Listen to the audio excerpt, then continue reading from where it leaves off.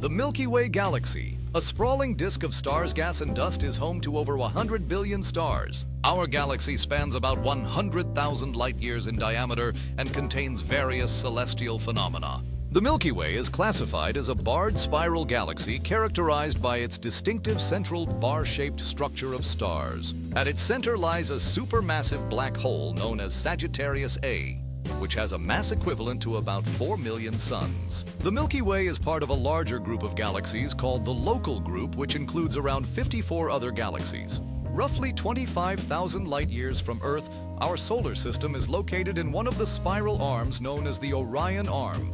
The Milky Way is estimated to be around 13.6 billion years old, making it nearly as old as the universe itself.